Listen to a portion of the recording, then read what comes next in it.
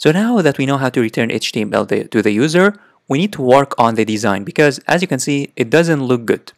It's just a, uh, a plain HTML. It doesn't have any, it does not have any uh, styles.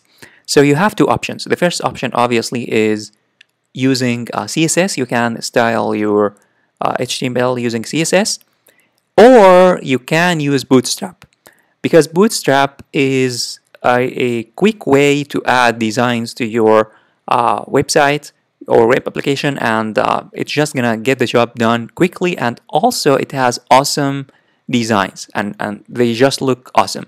So you can head on over to getbootstrap.com and then uh, click on get started and then we need to include bootstrap in uh, in our application so to include bootstrap in our application we need to do two things the first thing is that we need to copy this line of code we need to copy uh, this CSS line. So click here on copy.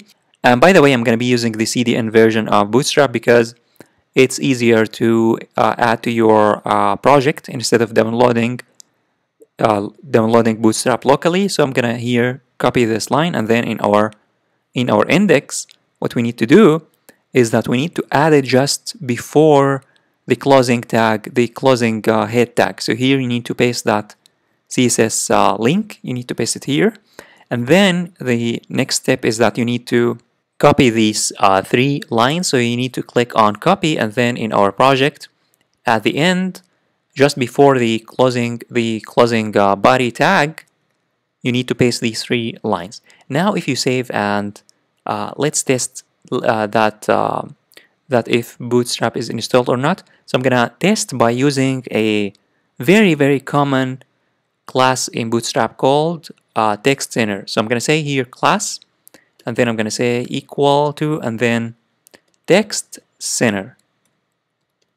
And now if you save and uh, head on over back to, the, to your browser and refresh, this text must be centered. Let me refresh and show you that. So if you refresh, you'll find that now the text is centered, which means that Bootstrap has been uh, included in our project successfully.